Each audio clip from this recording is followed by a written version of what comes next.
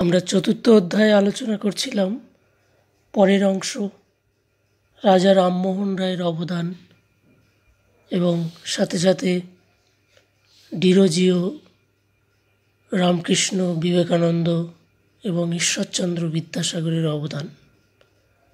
এই মনীষীগুলোর অবদানের উপর থেকে যে কোনো একজনের অবদান, বিশেষ করে রামমোহন এবং বিদ্যাসাগরের সমাজ সংস্কার, শিক্ষা সংস্কার, এগুলো থেকে কিন্তু একটা প্রশ্ন তোমরা উচ্চ মাধ্যমিকে পাবে। সুতরাং এগুলো ভালো করে মন দিয়ে শোনো। রাজা রামমোহন রায় ছিলেন এক বিরল প্রতিভা সম্পন্ন মহাপুরুষ।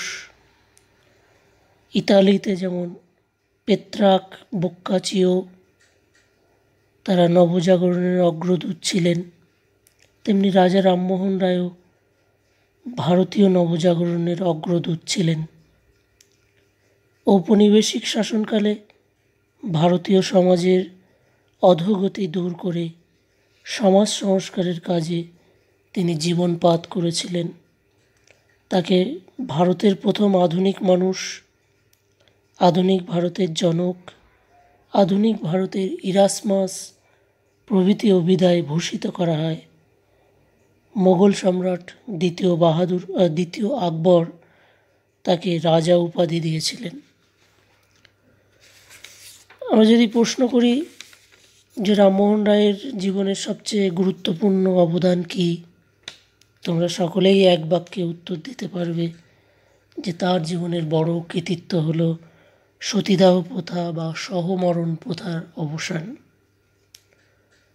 সতীদাহ বা সহমরণ প্রথা নিশ্চয়ই তোমরা জানো, সেই ব্যাখ্যায় আমি যাব না।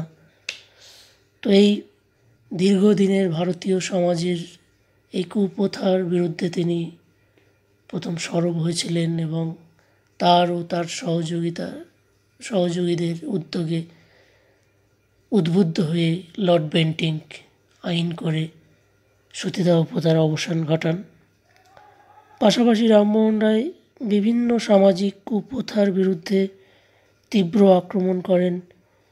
যেমন বাল্যবিবাহ, বহুবিবাহ, কৌলিন্য প্রথা, অস্পৃশ্যতা, জাতিভেদ প্রথা, গঙ্গাসাগরে সন্তান বিসর্জন প্রভৃতি। তিনি শুধু এগুলোই নয়, পাশাপাশি নারীদেরকে মর্যাদার আসনে সমাজে প্রতিষ্ঠিত করেছিলেন এবং যে কারণে তিনি চিরস্মরণীয় হয়ে আছেন। তিনি শিক্ষা সংস্কারেও অবিস্মরণীয় অবদান রেখেছেন। হিন্দু কলেজ প্রতিষ্ঠার সঙ্গে তিনি যুক্ত ছিলেন। তিনি নিজ উদ্যোগে অ্যাংলো হিন্দু স্কুল প্রতিষ্ঠা করেন। হেয়ার স্কুল প্রতিষ্ঠায় ডেভিড হেয়ারকে সাহায্য করেন। আলেকজান্ডার ডাফকে জেনারেল অ্যাসেম্বলিজ ইনস্টিটিউশন প্রতিষ্ঠায় সাহায্য করেন। লর্ড আমহার্স্টকে সংস্কৃত কলেজ প্রতিষ্ঠার যে ঘোষণা আমহার্স্ট করেছিলেন, তার পরিপ্রেক্ষিতে রামমোহন রায় এক চিঠিতে এর বিরোধিতা করে পাশ্চাত্য শিক্ষার দাবি জানান। এই চিঠিটি ভারতের নবজাগরণের ইতিহাসে একটি মূল্যবান দলিল। যাই হোক, রামমোহনের আরও বিভিন্ন অবদান আছে, সেগুলো তার সমাজ সংস্কার এবং ধর্ম সংস্কার শিক্ষা, সংস্কার সবগুলো খুবই গুরুত্বপূর্ণ। আমি অত ডিটেলসে যাব না। রামমোহনের সংস্কার কার্য এবং তার চিন্তাভাবনার কিছু সীমাবদ্ধতা থাকলেও তার বিরুদ্ধে বিভিন্ন সমালোচনা সেই সময় হয়েছিল। কিন্তু আধুনিক ভারতীয় সমাজ এবং সভ্যতায় তার যে অবদান, সেটা অনস্বীকার্য। তাকে নিঃসন্দেহে নবভারতের অগ্রদূত হিসেবে চিহ্নিত করা যায়। রবীন্দ্রনাথ ঠাকুরের মতে, রামমোহন রায় ভারতের ইতিহাসে আধুনিক যুগের সূচনা করেন। রবীন্দ্রনাথ ঠাকুর তাকে ভারত প্রতীক বলেছেন। আবার অধ্যাপক দিলীপ কুমার বিশ্বাস তাকে বিশ্ব পথিক বলে আখ্যায়িত করেছেন। অধ্যাপক ম্যাক্স মুলার বলেছেন যে রামমোহনই প্রথম প্রাচ্য প্রতীচ্যের জীবন তরঙ্গের মধ্যে একটা সমন্বয় সাধন করেছেন। ঐতিহাসিক ডক্টর পার্সিভল স্পিয়ার তাকে আধুনিক ভারতের স্রষ্টা বলে অভিহিত করেছেন। পণ্ডিত জওহরলাল নেহেরু তাকে ভারতীয় জাতীয়তাবাদের জনক বলে অভিহিত করেছেন। তো এই সমস্ত বহু অভিধায় তিনি ভূষিত হয়ে আছেন এবং ভারতের আধুনিকতার পথে তিনিই প্রথম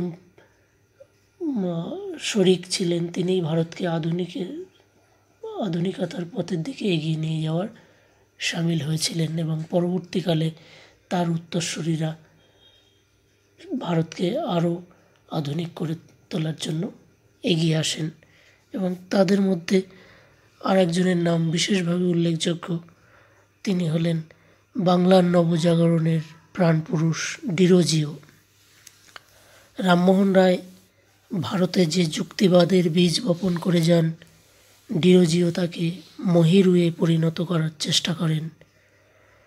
ডিরোজিও হিন্দু কলেজের শিক্ষক, তার ছাত্রদের মধ্যে অন্ধবিশ্বাস দূর করে যুক্তিবাদী এবং সত্য সন্ধানী হওয়ার পরামর্শ দেন।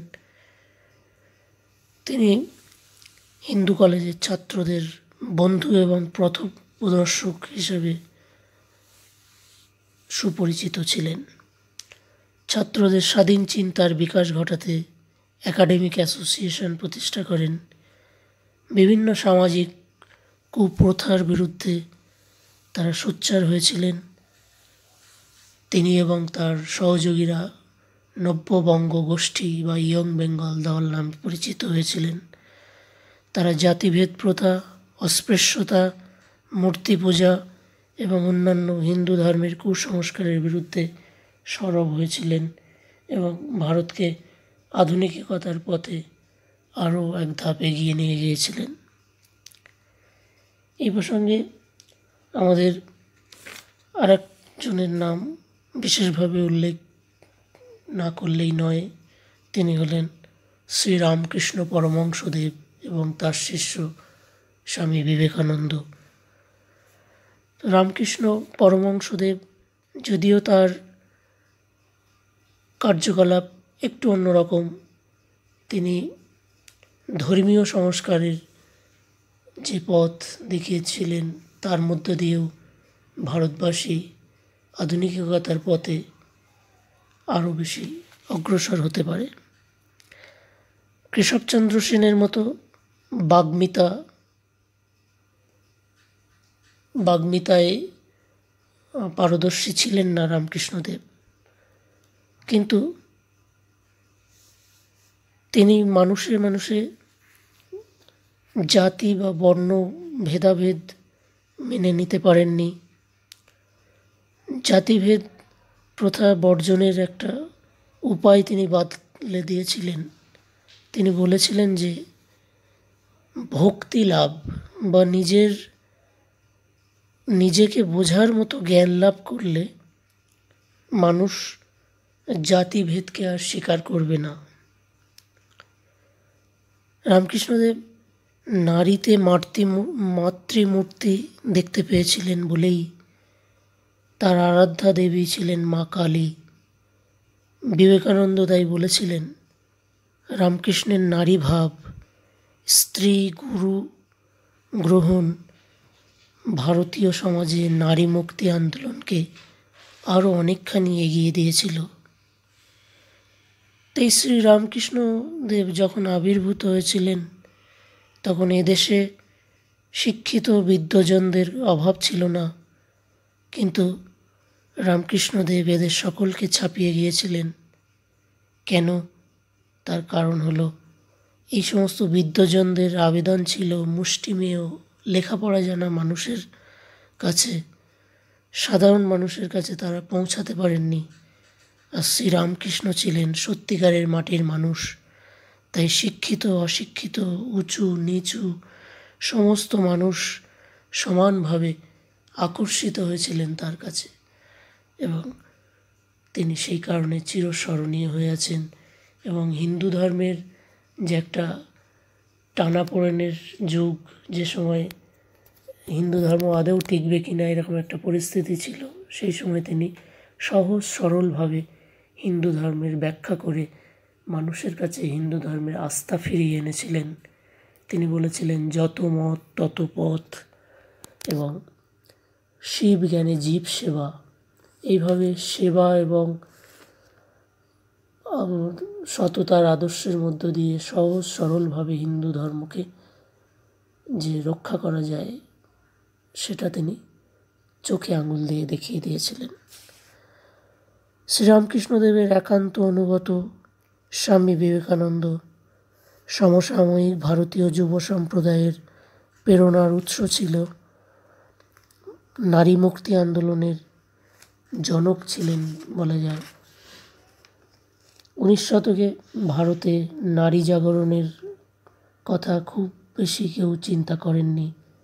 বিদ্যাসাগর যেটা অনেকটাই করেছিলেন, রামমোহন বিদ্যাসাগর, তাদের পরবর্তীকালে বিবেকানন্দই নারী মুক্তি এবং নারীকে স্বমহিমায় প্রতিষ্ঠিত করার জন্য আপ্রাণ চেষ্টা করেছিলেন।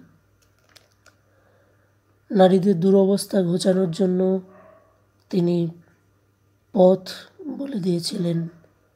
তিনি চেয়েছিলেন নারী শিক্ষা এবং নারীদের সমস্যা ও তার সমাধানের জন্য এগিয়ে আসতে হবে। পুরুষরা মতামত চাপালে চলবে না, নারীদেরকেই এগিয়ে আসতে হবে এর জন্য। তিনি বিশ্বাস করতেন যে ভারতবাসীর কুসংস্কার তাদের সবচেয়ে বড় দুর্বলতা। এই কুসংস্কারের জন্যই দেশ এবং দেশবাসী বৃহত্তর জগৎ থেকে বিচ্ছিন্ন হয়ে আছে। তখনকার রক্ষণশীলরা নিয়ম করেছিলেন, কালাপানি বা সমুদ্র পার হলে জাত ধর্ম খোয়াতে হবে। তাই বিবেকানন্দ ওই নিষেধাজ্ঞা অমান্য করেছিলেন। ভারতীয় কৃষ্টি, সভ্যতা, সেগুলোকে তিনি বিশ্ব সব, বিশ্বের মানুষের কাছে ছড়িয়ে দেওয়ার চেষ্টা করেছিলেন এবং সেই উদ্দেশ্যে তিনি শিকাগো ধর্ম সম্মেলনে বক্তৃতা করে ভারতের সনাতন হিন্দু ধর্মের প্রচার এবং বিশ্ববাসীর কাছে জনপ্রিয় হয়ে উঠেছিলেন। ভারতীয়দের জড়তা মুক্তির জন্য বিবেকানন্দ চেয়েছিলেন ভাবের আদান প্রদান, চিন্তা ও আদর্শের সংযোগ। তো একজন সমাজ সংস্কারক হিসাবে বিবেকানন্দ চেয়েছিলেন সাধারণ মানুষের অজ্ঞতা দূর করতে। তাছাড়া তিনি চেয়েছিলেন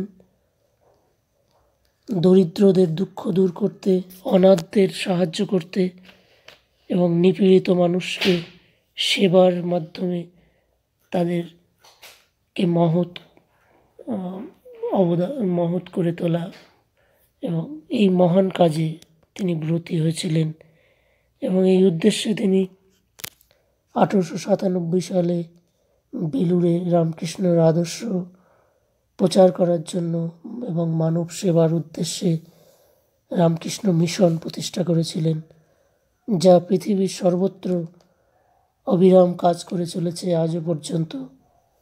এইভাবে ধর্ম, সেবা এবং শিক্ষা এই ত্রিবিধ কর্মসূচি নিয়ে রামকৃষ্ণ মিশন আঠারোশো সাতানব্বই সালে যে যাত্রা শুরু করেছিল আজও তা অবিরামভাবে চলছে। রামকৃষ্ণ মিশন সমাজসেবাকে তার কর্মসূচির সবচেয়ে উঁচু জায়গায় স্থান দিয়েছিল। কারণ মিশনের আদর্শ হলো মানব সেবার মাধ্যমে ঈশ্বরকে সেবা করা শিব জ্ঞানে জীব সেবা। এইসব সেবা কার্যকে রামকৃষ্ণ মিশন কতটা গুরুত্ব দেয়, তার একটা উদাহরণ দিলে স্পষ্ট হয়ে যাবে। আঠারোশো নিরানব্বই সালে কলকাতায় প্লেগ রোগে মহামারী আকার ধারণ করেছিল। তখন নিবেদিতা এবং স্বামী সদানন্দের নেতৃত্বে একদল স্বেচ্ছাসেবী যুবক, যুবতী অক্লান্ত পরিশ্রম করে আর্ত মানুষ প্লেগ রোগীদের সেবা করেছিলেন। তারা এলাকার বস্তির নর্দমা আবর্জনা পরিষ্কার করেছিলেন। শঙ্করী প্রসাদ বসু বলছেন যে, কলকাতার ইতিহাসে এটাই ছিল নগর পরিষ্কারের প্রথম সংঘবদ্ধ বেসরকারি উদ্যোগ। তো রামকৃষ্ণ মিশন প্রথম থেকেই শিক্ষাকে সমাজের উন্নতির প্রথম শর্ত বলে গ্রহণ করেছে। তাই স্কুল, কলেজ প্রতিষ্ঠার মাধ্যমে রামকৃষ্ণ মিশন আধুনিক শিক্ষা বিস্তারে সর্বদা সচেষ্ট থেকেছেন। তো সুভাষচন্দ্র বসু বিবেকানন্দকে আধুনিক ভারতের প্রতিষ্ঠাতা বলে অভিহিত করেছেন। মহাত্মা গান্ধী বলছেন যে, বিবেকানন্দের নাম সকলেই প্রেরণা সঞ্চার করে। নাম শুনলেই যেন একটা প্রেরণার সঞ্চার হয়। তো এইভাবে বিবেকানন্দ আজ সারা ভারত তথা বিশ্ববাসীর কাছে আপন হয়ে উঠেছে। এরপরে আমরা আরেকজন প্রথিতযশা মহাপুরুষ ঈশ্বরচন্দ্র বিদ্যাসাগর। তার অবদান উল্লেখ করব। ঈশ্বরচন্দ্র বিদ্যাসাগরের অবদান আমরা দুটো পর্যায়ে ভাগ করে নিতে পারি। একটা হলো তার সমাজ সংস্কার আর একটা তার শিক্ষা সংস্কার বা শিক্ষা বিস্তারে তার অবদান। তো সমাজ সংস্কারের ক্ষেত্রে প্রথমেই তার নাম আসে বিধবা বিবাহ প্রচলন। এই ব্যাপারে উদ্যোগ গ্রহণের জন্য। বিদ্যাসাগর একক প্রচেষ্টায় তিনি সমাজ সংস্কার আন্দোলনে অংশগ্রহণ করেছিলেন। তিনি কোনো ধর্মসভায় যোগদান করেননি, বরঞ্চ কলেরা রোগে আক্রান্ত ব্যক্তির সেবাকে তিনি মহৎ কাজ বলে মনে করতেন। আসলে ঈশ্বরচন্দ্র ধর্মকে সম্পূর্ণ বাদ দিয়ে বিশুদ্ধ সমাজ সংস্কারের কথা ভেবেছিলেন। রামমোহনের সমাজ সংস্কার ধর্মকে আশ্রয় করে গড়ে উঠেছিল, কিন্তু বিদ্যাসাগর সেই ধর্মকে সম্পূর্ণরূপে বাদ দিয়েই সমাজ এবং শিক্ষা সংস্কারে অবতীর্ণ হয়েছিলেন। বিদ্যাসাগর তার সর্বশুভকরী পত্রিকায় বাল্যবিবাহের দোষ নামক প্রবন্ধে বাল্যবিবাহ যে কতটা নিষ্ঠুর এবং নৃশংস তা যুক্তি দিয়ে ব্যাখ্যা করেছিলেন। তার জীবনের সবচেয়ে বড় বা মহৎ কর্ম হল বিধবা বিবাহ সমর্থনে আন্দোলন গড়ে তোলা। বিভিন্ন পত্র পত্রিকার তিনি হিন্দু শাস্ত্র থেকে উদ্ধৃতি দিয়ে প্রমাণ করেছিলেন যে বিধবা বিবাহ শাস্ত্রসম্মত। একজন বাস্তববাদী মানুষ হিসাবে তিনি বুঝতে পেরেছিলেন যে সরকারি আইনের সাহায্য ছাড়া বিধবা বিবাহকে সমাজে প্রতিষ্ঠিত করা যাবে না। তাই তিনি বহু মানুষের স্বাক্ষরিত আবেদনপত্র ইংরেজ সরকারের কাছে কাছে পেশ করেছিলেন। ঈশ্বরচন্দ্রের আন্দোলনে বলিয়ান হয়ে সরকার আঠারোশো ছাপ্পান্ন সালে হিন্দু বিধবা বিবাহ আইন, হিন্দু উইডো রিম্যারেজ অ্যাক্ট পাশ করেছিলেন। এর পাশাপাশি আরও বিভিন্ন সমাজ সংস্কারে তিনি ব্রতী হয়েছিলেন, কিন্তু শিক্ষা বিস্তারে তার অবদান আরও বেশি গুরুত্বপূর্ণ। বিদ্যাসাগর একজন মানবতাবাদী। তিনি বিশ্বাস করতেন যে নারীদের মুক্তি না হলে সমাজের উন্নতি সম্ভব হবে না। তাই নারী মুক্তির জন্য বিদ্যাসাগর তাদের মধ্যে শিক্ষা বিস্তারের প্রয়োজনীয়তা উপলব্ধি করেছিলেন। নারী শিক্ষা বিস্তারে সরকার অনুৎসাহ, সেটা লক্ষ্য করে বিদ্যাসাগর নিজেই এ ব্যাপারে অগ্রসর হয়েছিলেন। তিনি তার নিজ অর্থ ব্যয় করে কতগুলো মডেল বালিকা বিদ্যালয় প্রতিষ্ঠা করেন, প্রায় পঁয়ত্রিশটি বালিকা বিদ্যালয় প্রতিষ্ঠা করেন। তাছাড়া বালিকা বিদ্যালয় স্থাপনে কেউ উৎসাহ দেখালে বিদ্যাসাগর তাকে সর্বতভাবে সাহায্য করতেন। ড্রিঙ্ক ওয়াটার বেথুন সাহেব হিন্দু ফিমেল স্কুল প্রতিষ্ঠায় বিদ্যাসাগর সহযোগী হিসাবে তার পাশে ছিলেন। সম্প্রতি বিদ্যাসাগরের দুশো বছরের জন্মদিন পালন আমরা দেখতে পাই যে দেশব্যাপী একটা আলোড়ন সৃষ্টি হয়েছিল, সেটা খুবই লক্ষণীয়। তার আদর্শ আজও সমানভাবে প্রাসঙ্গিক। তিনি শিশুদের জন্য এবং জনশিক্ষা প্রসারের জন্য বহু গ্রন্থ লিখেছিলেন। তার মধ্যে উল্লেখযোগ্য বর্ণমালা, কথামালা, বোধোদয়, শকুন্তলা, সীতার বনবাস প্রভৃতি। বাংলা গদ্যের নতুন পথ দেখিয়েছিলেন তিনি। রবীন্দ্রনাথ ঠাকুরের মতে বিদ্যাসাগর বাংলা ভাষার প্রথম যথার্থ শিল্পী ছিলেন। বিদ্যাসাগর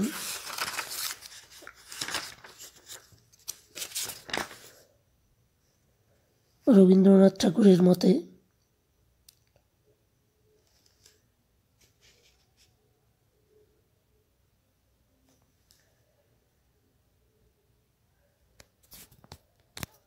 বাংলা ভাষার প্রথম যথার্থ শিল্পী তো ছিলেনই।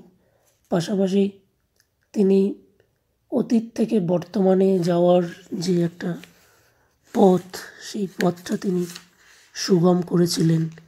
তাই কবির ভাষায় আমরা বলতে পারি যে জড়তাচ্ছন্ন অতীত থেকে উন্মিলনশীল ভবিষ্যতের দিকে যে প্রগতির রথ ছুটে চলেছে বিদ্যাসাগর তারই সারথি ছিলেন। মাইকেল মধুসূদন বলছেন যে, এমন একজন মানুষকে তার মধ্যে দেখেছিলেন যার মনীষা ছিল প্রাচীন ঋষিদের মতো এবং কর্মদক্ষতা ইংরেজদের মতো আর হৃদয়বত্তা বাঙালি জননীর মতো।